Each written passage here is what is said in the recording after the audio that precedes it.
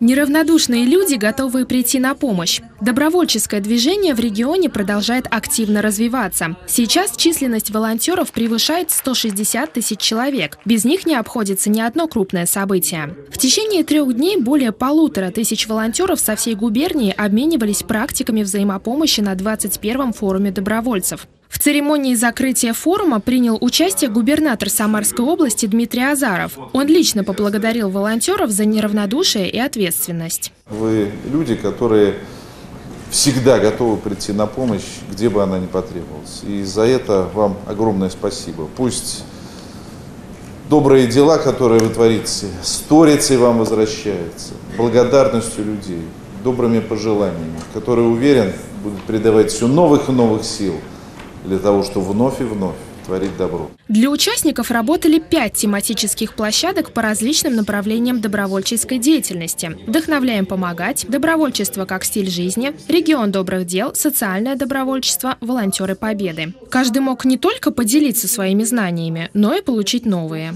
Добровольческое движение в регионе представлено крупными направлениями – социальное и экологическое, волонтеры победы, культуры и другие. А Самарский инклюзивный добровольческий центр является ведущей организацией в нашей стране. Этот год для нас был очень особенным. Какие-то новые вызовы, на которые мы сегодня реагируем, включаемся в работу.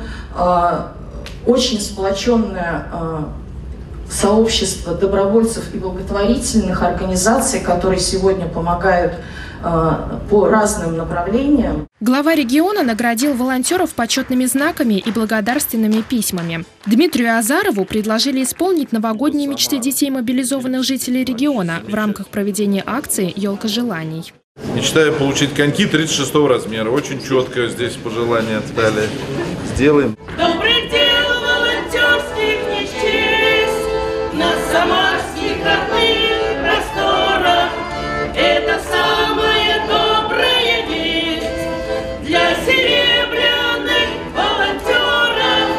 Ксения Баканова, Николай Сидоров. События.